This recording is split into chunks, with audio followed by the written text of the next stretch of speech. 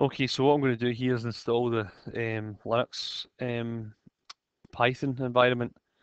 Um, there's a couple of ways to do this in in, um, in Linux. The first thing I'm going to do is go down to the menu, um, and then you'll see if I've got up here is install new applications, the software manager. I'm going to click on that. And then I'm just going to type in my password.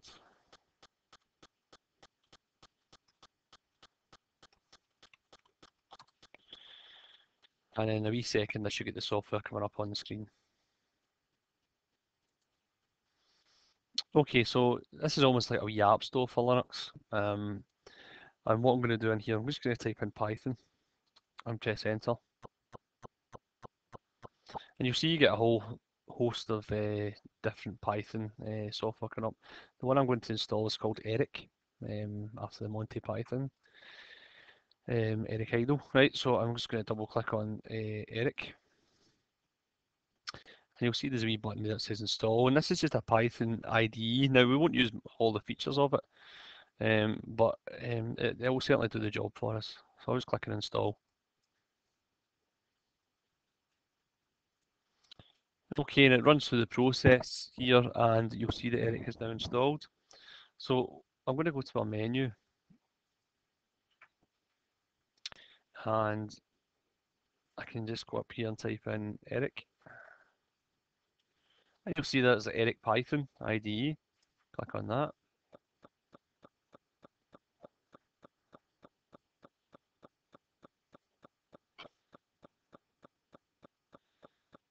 and give it a wee second and it'll load up. Let's close that down just now.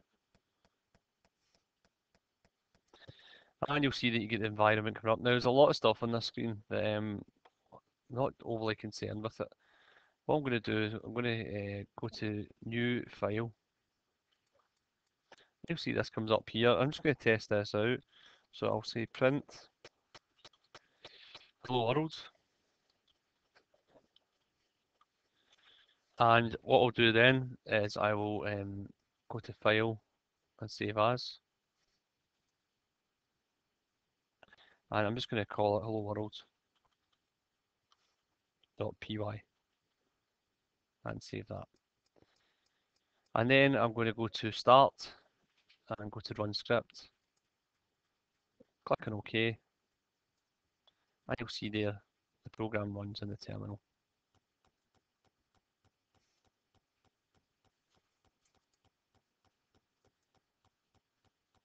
Right, the other option in this is you can run it from the terminal, but it's a bit more advanced.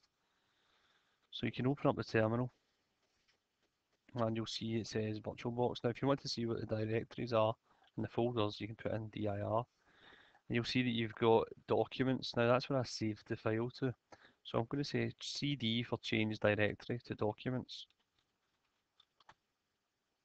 Okay, now what I need to make sure is I've got a line of code in my Python file. So if I um, go back into my Python document, I'll load up Eric again. And I'll open up my file. Go to recent. And what you'll see is that I need to put this code in.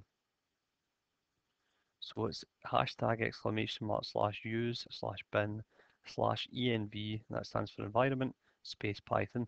And that tells you when to open it should be used the Python environment. So make sure that line of code is the first in your program.